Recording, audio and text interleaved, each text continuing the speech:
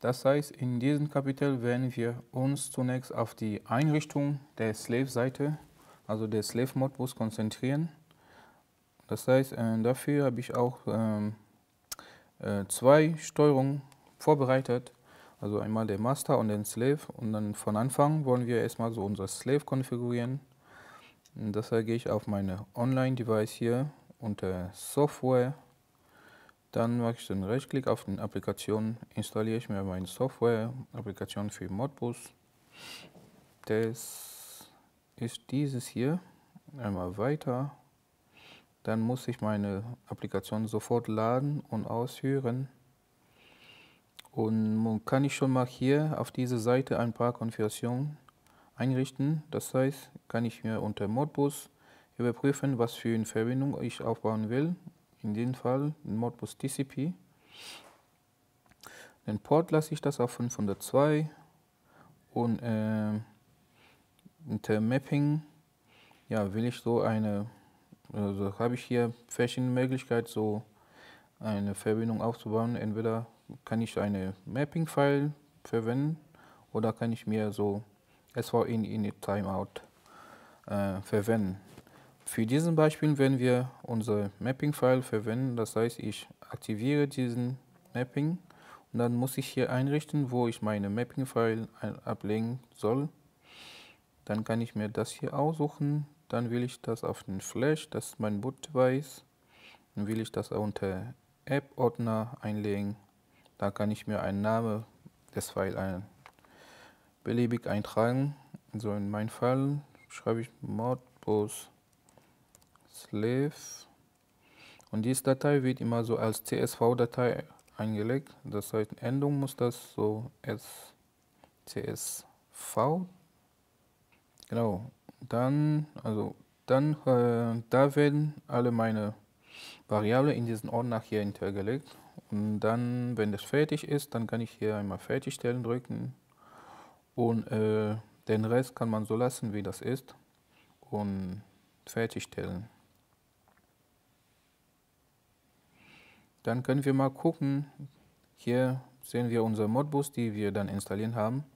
Aber zeigt hier nochmal rot hier, weil unsere äh, Konfiguration noch nicht fertig ist. In dem Fall, weil wir unser Mapping-File verwendet haben. Und dann in dem Mapping-File haben wir eine Datei erstellt, eine CSV-Datei erstellt, die noch keine Variable da äh, besteht. Das heißt, dafür kann ich nochmal ähm, ein paar Variablen dahin zu fügen, weil Variable, die ich dann mapping will. Und dafür auch habe ich äh, eine Applikation, Software-Applikation, Variable schon mal vorinstallieren, die ich dann verwenden will, die ich mappen will, von den Master. Das ist diese Applikation, MyPLC. Und die besteht auch auf äh, drei Variablen, die ich dann mappen will. Und diesen Variable muss ich hier hinzufügen auf meine Modbus-Seite unter Mapping hier oben. Da kann ich mir so die Variable hinzufügen. Um Variable hier hinzufügen, also gehe ich hier unter Variableadresse, da klicke ich drauf, gibt hier diese drei Punkte hier. Da kann ich mir auswählen, welche Variable ich dann hinzufügen will. Markiere ich alle drei Variablen und dann kann ich ja, das Markierung alle drei Variablen funktioniert nicht, muss das einzeln hinzugefügt werden.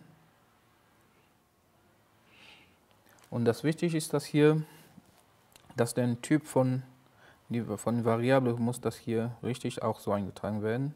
Also mein erste Variable war ein Boolean Variable und dann bei Modbus Slave Einrichtung gibt es so vier verschiedene äh, Datentyp von Variablen. Also das einmal ein Coil, das wäre für einen Digitalausgang, ein Disk, ein äh, E-Rack und H-Rack. In meinem Fall, meine erste Variable äh, ist das ein Boolean-Variable, das heißt, äh, entspricht das hier ein Coil? Und muss ich hier den Index definieren, also starte ich mal bei Index 0. Füge ich meine nächste Variable, das ist ähm, nächste Variable wäre mein FAR2 hier, das ist ein Real 32-Bit hier von Länge 4. Das heißt, hier muss ich bei einem Signal-Typ hier von Länge 4 ist, wäre das eine HREC Datentyp. Bei diesem Typ hier kann ich auch so bei Index 0 auch anfangen.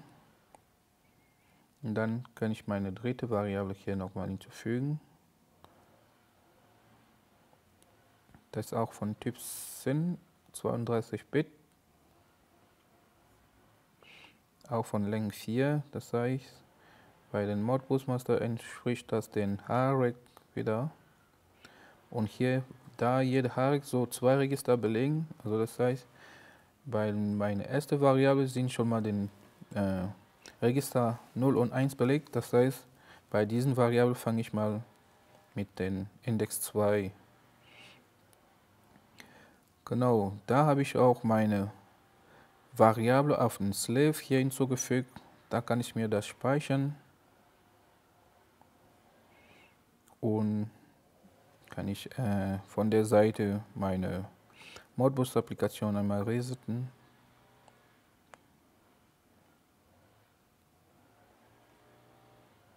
und da hier wieder starten. Ja, genau, da sehe ich hier, dass meine Modbus äh, Slave hier äh, richtig äh, konfiguriert ist. Zeigt er hier auch grün, das heißt, funktioniert hier alles gut und war das schon mal soweit von der Slave-Seite.